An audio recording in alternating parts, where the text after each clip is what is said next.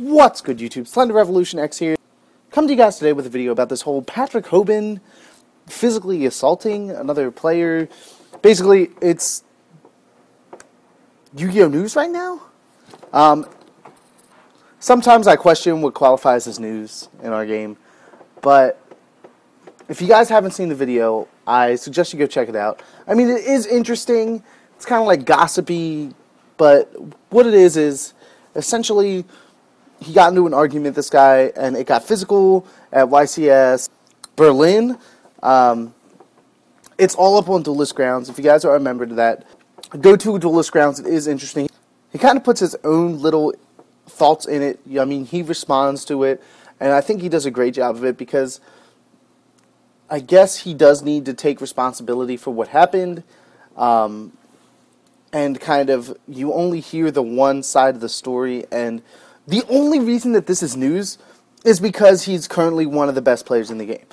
If this was, I mean, you look at regionals, I mean, everybody here has either been to a locals or regionals where something is stolen.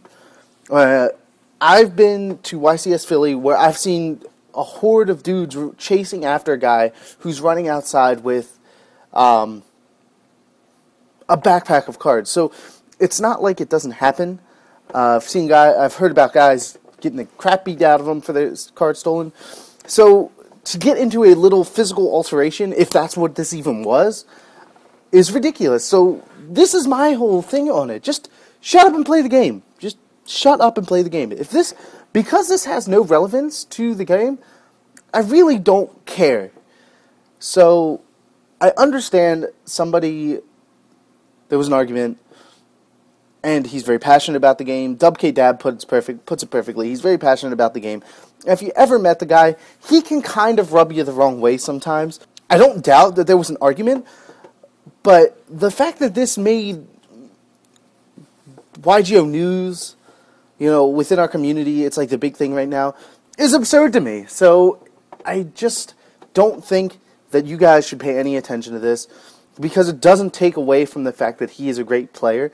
There have been a lot of douchey great players in this game all the way up till now. I mean, you look in the past, there have been several, and I don't want to mention names because I don't want to sound like I'm taking shots at somebody, but it happens everywhere. You're going to get those people everywhere, and just this is like the most minimalist issue ever, and it should have never made news. I understand the guy made a video about it, saying like how upset he was and how butthurt he was, and all this stuff. Like, it's really dumb to be making this as big as it is.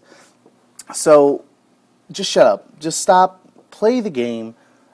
Unless it has to do with cards or a tournament or, you know, how he managed to sweep XYCS or X regional, you know, I don't care. You know, I want to see news that is relevant to this game. He could be a complete thug on him. He could all the time. Like he could be killing dudes, but it, unless it has to do with this, I'm really, really not worried about it. Every person here has their own problems, and I don't think they should be blown up strictly because he is a household name in the game of Yu-Gi-Oh. So, other than that, guys, if you have any comments on this, leave it in the comment section below. I'll leave a link to the original video so you guys can go ahead and go watch it. Uh, I'll leave a link to the Duelist Groundz forum, possibly.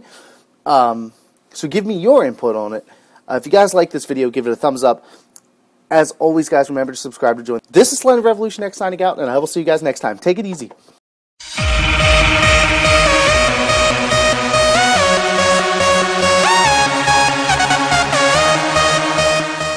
Just shut up and play the game. Just shut up.